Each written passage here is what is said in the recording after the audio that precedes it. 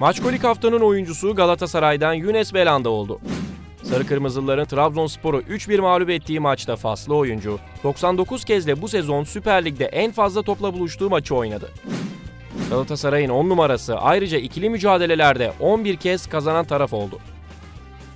%80 pas isabeti ve çalım denemelerinde %57 başarı sağlayan Belhanda, şut açısındansa son dönemlerdeki en verimli maçını oynadı.